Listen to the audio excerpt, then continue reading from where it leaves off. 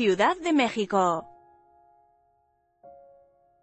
El Grupo Aeroportuario de la Ciudad de México, GACM, suspendió cuatro licitaciones públicas pendientes para el nuevo Aeropuerto Internacional de México, NAIM, hasta que tenga los resultados de las reuniones sobre la continuidad del proyecto.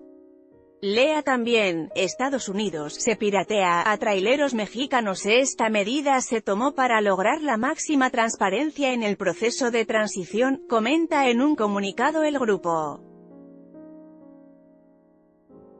Lea también, afectaría a MLO a 39% de empleados de gobierno Obras del nuevo aeropuerto, Agencia Reforma detalló que se suspendieron de manera indefinida los plazos para celebrar las licitaciones de la construcción de redes exteriores de distribución, la construcción de la red de distribución de combustibles, la supervisión de la construcción de la red de distribución de combustibles y el suministro, instalación y comisionamiento de los sistemas de iluminación de pistas.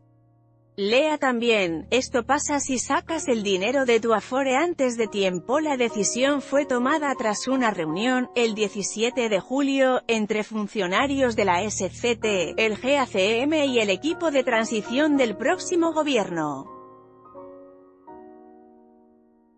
En el encuentro se compartió información del estado que guarda la construcción del NAIM, dijo el grupo, y se determinó establecer diversos grupos de trabajo para analizar el proyecto. Obras del nuevo aeropuerto, Agencia Reforma El 18 de julio, la Comisión Nacional de Hidrocarburos también pospuso para el 14 de febrero de 2019 las rondas 3,2 de campos terrestres y 3,3 de terrestres no convencionales, además del paquete de siete asociaciones de Pemex.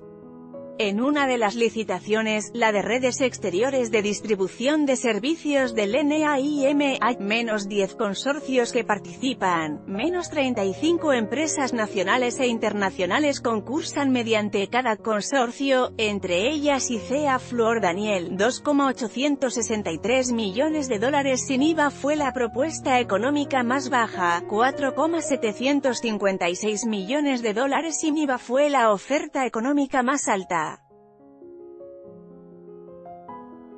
Fuente, GACM en esta nota, Terminal Aérea Aeropuerto Internacional AMLO.